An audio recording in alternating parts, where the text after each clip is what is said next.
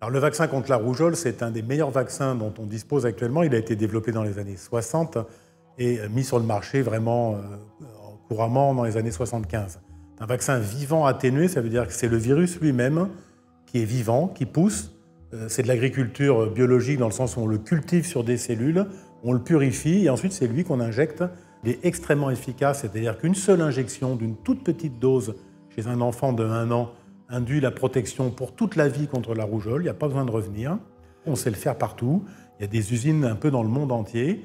Euh, il faut l'acheminer avec une chaîne de froid parce qu'il faut le protéger. Mais euh, si on a ces protections, on a là un outil de santé absolument merveilleux.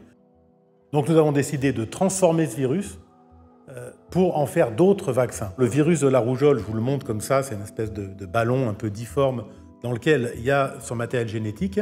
On a pris le matériel génétique, on l'a recopié, ça s'appelle le cloner, et ensuite on le coupe en morceaux et dedans on rajoute des morceaux du sida ou des morceaux de la dengue, euh, euh, et on, referme tout ça et on refait pousser du nouveau virus.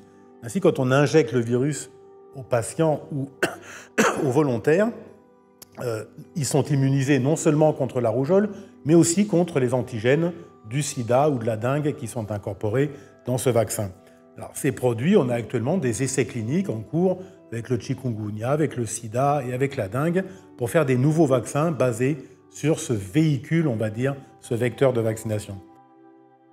On s'est aussi aperçu dans les années 70 euh, que des enfants qui avaient des lymphomes, maladie de Hodgkin par exemple, avec un œil euh, gros comme ça, euh, quand ils faisaient la rougeole, la tumeur disparaissait.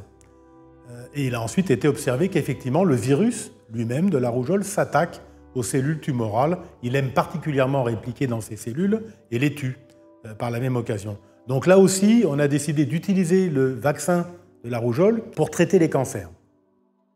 Euh, nous, euh, nous allons tester euh, l'efficacité sur le mésothéliome pleural malin, qui est le cancer de l'amiante, de la plèvre. Et là, on va mettre dans un gros volume, une grosse dose, directement dans la plèvre d'un patient qui a une tumeur sur la plèvre, et on va attendre que la tumeur soit détruite. Donc nous, on, démarre des essais d'ici deux ans. Si c'est efficace, ça peut effectivement être sur le marché pour la médecine d'ici 5-7 ans.